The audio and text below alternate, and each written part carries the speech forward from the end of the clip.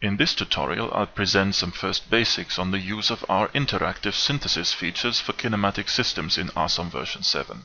The synthesis methods can be found in the tab Synthesis in the menu ribbon. They are sorted by synthesis type, point of position, 2 or 3 conditions, and also by linkage type, 1 bar, 4 bar, 6 bar or slider crank. You'll also find here synthesis for approximate and exact straight line mechanisms.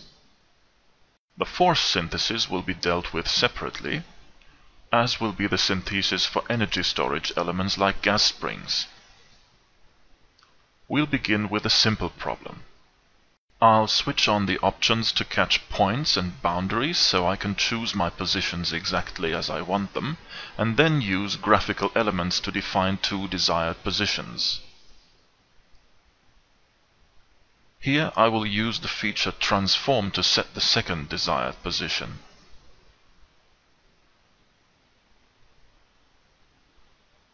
Now I will use the feature two-point synthesis for a four-bar system to illustrate the principles of how a synthesis is realized in ASOM.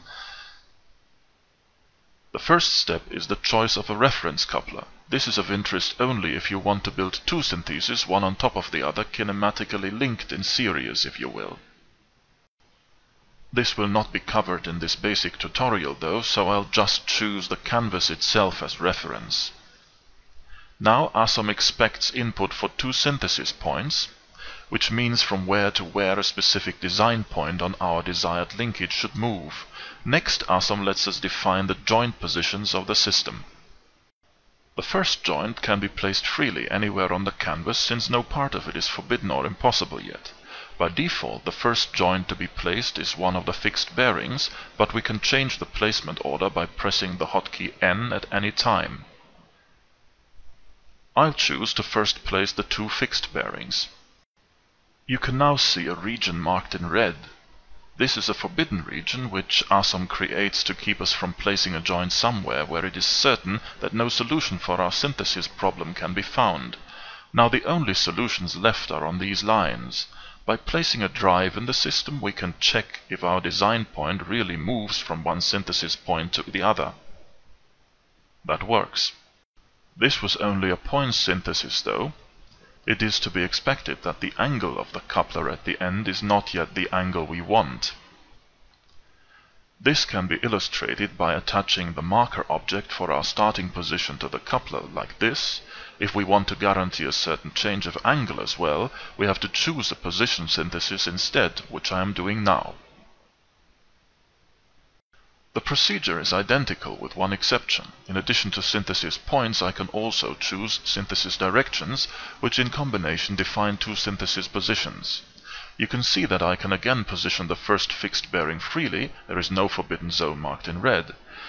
There is, however, an additional line which already shows where the corresponding joint of the coupler will have to be placed later if the fixed bearing is placed at the current mouse pointer location. As before, I can change the order of joint placement if I want. I'll now place the joints somewhere where it's allowed. Then I can check the success of the synthesis by adding a drive. And, like before, the animation should stop once the synthesis position is reached. The animation direction can be reversed to better represent the desired movement if necessary.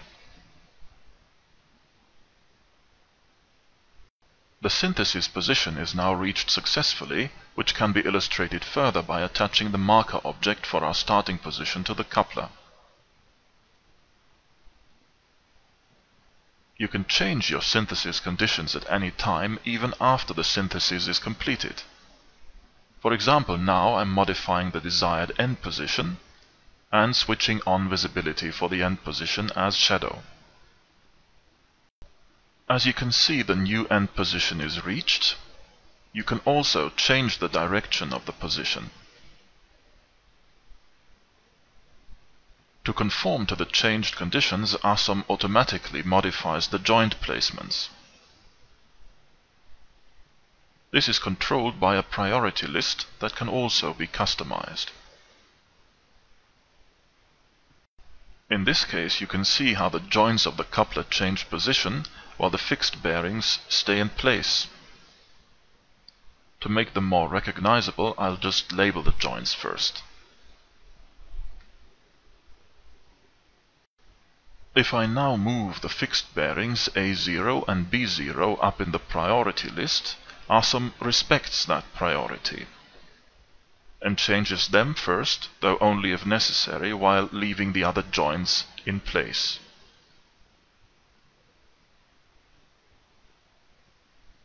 This synthesis feature is available at all times for moving the positions and also for changing their directions.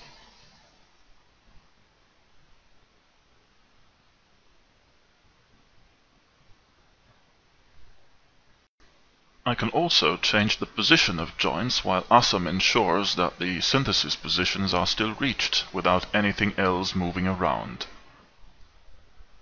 This is the case for all joints, as you can see here. It has to be understood, though, that their movement is restricted to these allowed lines only. If I want to move joints outside of the lines, I can allow that too. However, I must accept that then other joints will have to move as well, in this case one of the joints of the coupler.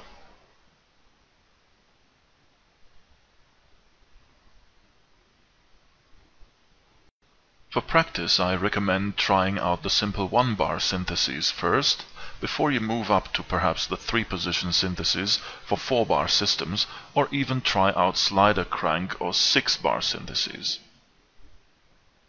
Thanks for watching.